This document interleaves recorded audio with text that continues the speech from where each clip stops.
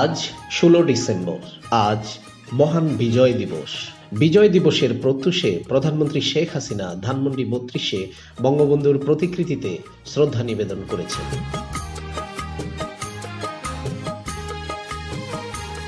প্রধানমন্ত্রী হিসেবে শ্রদ্ধা নিবেদনের পর তিনি আওয়ামী লীগ সভাপতি হিসেবেও শ্রদ্ধা নিবেদন করেন এ সময় তার সঙ্গে ছিলেন বঙ্গবন্ধুর ছোট মেয়ে শেখ রেহানা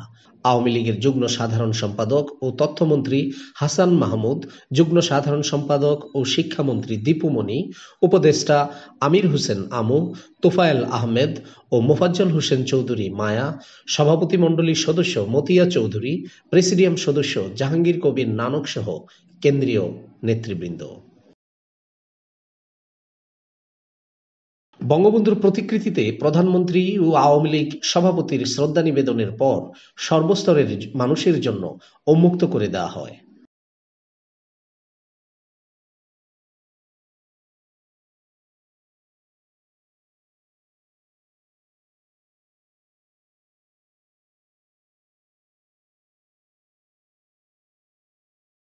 এটি অবশ্যই আমাদের জন্য একটি ঐতিহাসিক দিন এটা গৌরব গৌরবময় দিন সবচেয়ে বড় কথা হচ্ছে আমরা মুজিব শতবর্ষ এবং স্বাধীনতার সুবর্ণ জয়ন্তী মানে বাংলাদেশের পঞ্চাশ বছর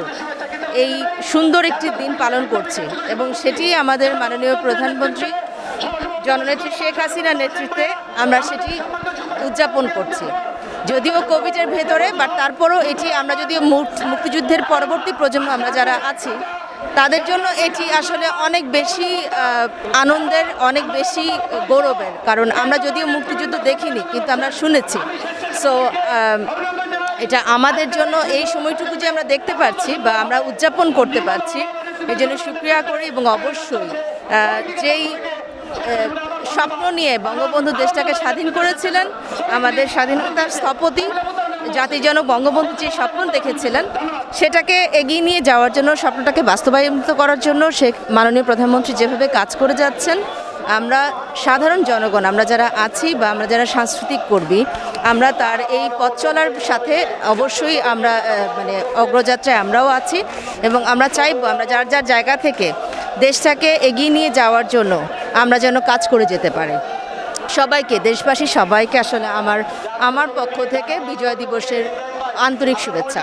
থ্যাংক ইউ পঞ্চাশ বছর পূর্তি হইল আমাদের বিজয়ের এই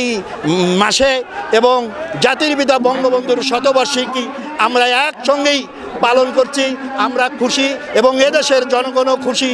জাতির পিতা বঙ্গবন্ধুর কন্যার নেতৃত্বে দেশ এখন দুর্বার গতিতে উন্নয়নের দিকে এগিয়ে যাচ্ছে মানুষ ভালো খেয়ে পরে সুখী আছে শান্তিতে আছে কিন্তু রাজাকার আলবদররা ষড়যন্ত্রে লিপ্ত আছে তারা নানান ষড়যন্ত্র করছে দেশের বিরুদ্ধে এবং এটি মধ্যেই বিভিন্ন আপনারা দেখতে পাচ্ছেন এমনকি মানবাধিকার নিয়েও তারা কথা বলে আমাদের মানবাধিকার লঙ্ঘন হয়েছে উনিশশো সালে এবং ভাষা আন্দোলনের সময় এবং এই সময় পনেরোই আগস্টে একুশে আগস্টে মানবাধিকার লঙ্ঘন হয়েছে বিদেশি সেই তারা দেখে না আর তাদের দেশে মানবাধিকার লঙ্ঘন হচ্ছে সেই আমেরিকা টেমিকার সব জায়গা আমাদের যে নেত্রী জননেত্রী শেখ হাসিনা আপনারা জানেন এগারো লক্ষ রোহিঙ্গাকে আশ্রয় দিয়ে মানবতার মা হিসেবে সেই জাতিসংঘ ইউনেস্কো থেকে তিনি স্বীকৃতি পেয়েছেন ষোলোই ডিসেম্বর আমাদের জন্য বাংলাদেশের মানুষের জন্য বাঙালি জাতির জন্য আজকে বিজয়ের দিন এই দিন আমরা পেয়েছি আমাদের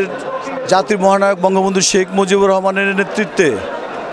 এই দেশের বাঙালি ঐক্যবদ্ধ হয়ে মুক্তিযুদ্ধের বিনিময়ে আমরা এই স্বাধীনতা পেয়েছি আর এই স্বাধীনতা অর্জন করতে গিয়ে আমি স্মরণ করছি যারা